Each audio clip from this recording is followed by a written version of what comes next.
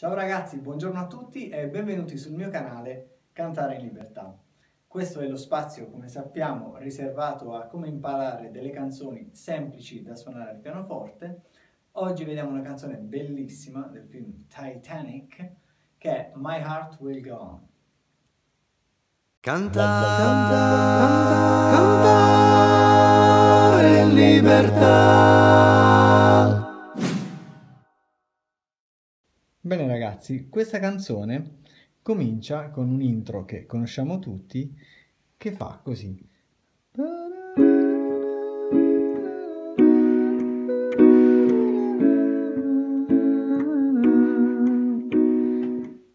Gli accordi sono Do diesis minore.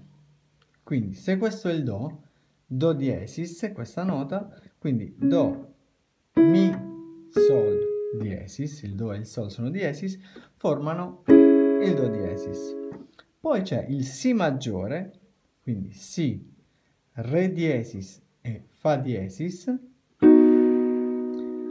E infine c'è il La maggiore, quindi Do, Si, La, La, Do diesis, Mi. Poi si ripeterà il Si ancora una volta. Quindi...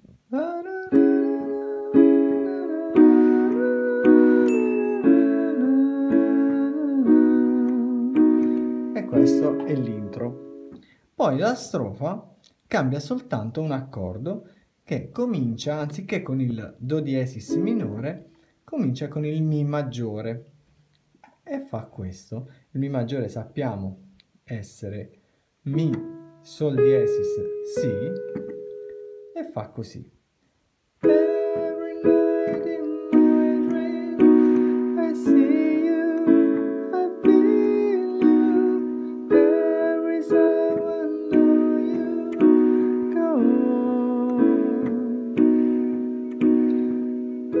Nella strofa questi sono gli accordi.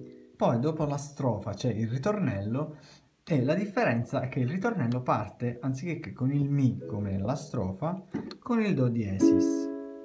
Quindi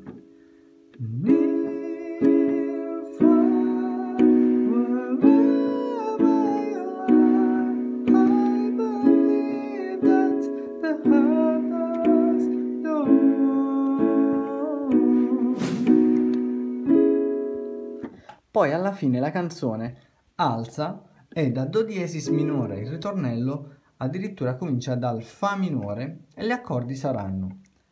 Quindi Fa minore, Do, Re, Mi, Fa, il Fa minore si compone di Fa, La bemolle, Do, poi ci sarà il Mi bemolle maggiore, quindi se questo è Mi, Mi bemolle, e si forma con Mi bemolle, Sol, Si bemolle e infine il Do diesis che sarà Do diesis, Fa o comunque Mi diesis si chiama questo, Sol diesis e farà così.